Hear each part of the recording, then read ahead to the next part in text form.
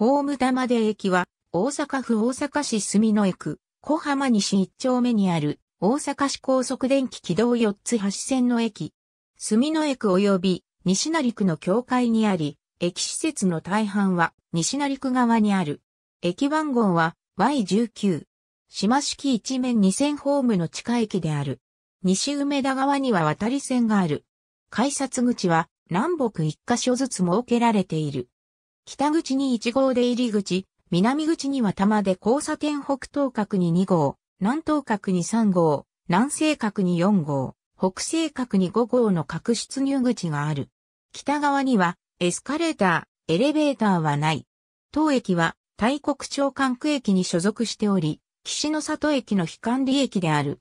2020年11月10日の1日、乗降人員は17,654人である。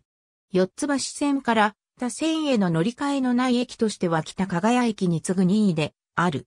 しかし、増加傾向の北加賀谷駅とは対照的に、当駅は減少傾向である。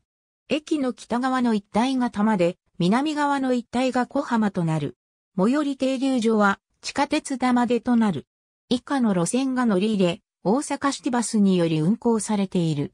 ホーム中央の柱には遠心力中高管が使われている。遠心力中高管をホームの柱として使用したのは、この駅が日本初である。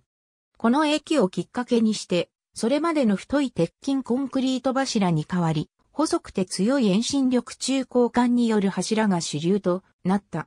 ありがとうございます。